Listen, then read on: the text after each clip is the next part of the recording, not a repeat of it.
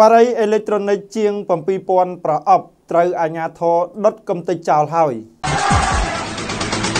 ទឹកបរិសុទ្ធ Blue Sea ជាប្រភពនៃជីវិត អគ្គនាយកដ្ឋានការពារអ្នកប្រើប្រាស់កិច្ចការប្រកួតប្រជែងនិងបង្ក្រាបការក្លែងបន្លំកបបដុតកំទេចចោលផលិតផលបារីអេឡិចត្រូនិកចំនួន7200ប្រអប់បារីអេឡិចត្រូនិកដែលត្រូវបានដុតកំទេចចោលមានចំនួន288កាតុងស្មើនឹង7200ប្រអប់ដែលត្រូវបានដកហូតកាលពីថ្ងៃទី3ខែវិច្ឆិកាឆ្នាំ2022ពីទីតាំងស្តុបទុកចាយចាយមួយកន្លែងតាមដេកាសម្រាប់រឹបអូសចាប់យកវត្ថុតាងទៅបំផ្លាញចោលលេខ014របស់ឯកឧត្តមព្រះរាជអាជ្ញាអមសាលាដំបងរាជធានីភ្នំពេញការដុតកំទេចចោលនេះធ្វើឡើងនាព្រឹកថ្ងៃទី30ខែធ្នូឆ្នាំ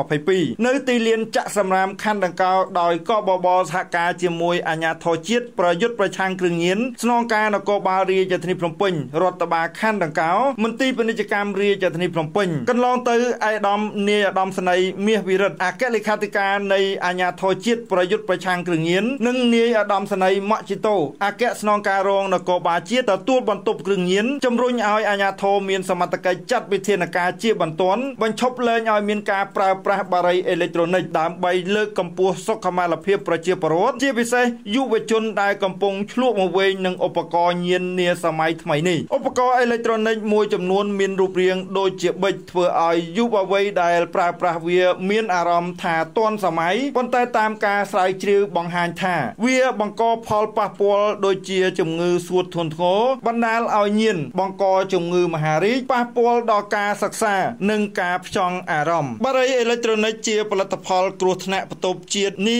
កូទីន ដែលធ្វើឲ្យអ្នកប្រើប្រាស់ញៀនខ្លាំងជាពិសេសចំពោះកុមារនិងយុវជន បង្កឲ្យមានការខូចខាតធ្ងន់ធ្ងរដល់ការលូតលាស់ខួរក្បាលធ្វើឲ្យមានការចងចាំមិនល្អភ្លេចភ្លាំងពិបាកក្នុងការចង់អារម្មណ៍ដែលនាំឲ្យប៉ះពាល់ដល់សមត្ថភាពការងារនិងរៀនសូត្រចំណែកសារធាតុផ្សេងទៀតដូចជាប្រូពីឡែនវាធ្វើឲ្យប៉ះពាល់យ៉ាងធ្ងន់ធ្ងរដល់សួត និងបេះដូង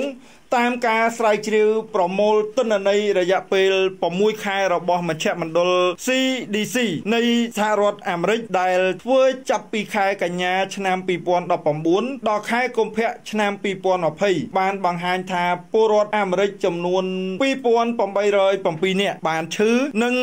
68នាក់បានស្លាប់ដោយសារជំងឺសួតដែលបណ្ដាលមកពីការប្រើប្រាស់បារីអេເລັກត្រូនិកសូមជម្រាបថារាជរដ្ឋាភិបាលកម្ពុជាតាមរយៈអាជ្ញាធរ រជាតិប្រយុទ្ធប្រឆាំងគ្រឿងញៀនបានចេញសេចក្តីណែនាំស្តីពីការចាត់វិធានការបង្ក្រាបទប់ស្កាត់ការនាំចូលការជួញដូរការធ្វើអាជីវកម្មនិងការប្រើប្រាស់ផលិតផល STP ក្នុងព្រះរាជាណាចក្រកម្ពុជា កាលពីថ្ងៃទី18ខែមីនាឆ្នាំ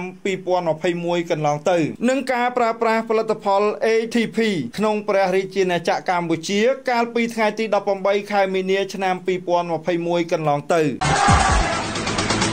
ទឹកបរិសុទ្ធ Blue Sea ជាប្រភពនៃជីវិត ទឹកបរិសុទ្ធ Blue Sea ជាប្រភេទទឹកធម្មជាតិសុទ្ធ100%ពិសាទឹកបរិសុទ្ធ Blue Sea មានអត្ថប្រយោជន៍ដល់សុខភាពរាងកាយរបស់លោកអ្នកសូមពិសាទឹកបរិសុទ្ធ Blue Sea ធ្វើឲ្យសុខភាពរាងកាយរបស់លោកអ្នកកាន់តែប្រសើរឡើង